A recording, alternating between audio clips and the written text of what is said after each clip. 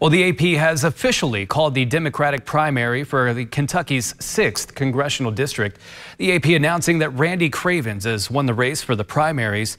This comes after a tight race between three of the five candidates for the Democratic nominee. Cravens will face off against Republican Congressman Andy Barr for the election come November. Barr has held that seat since 2013.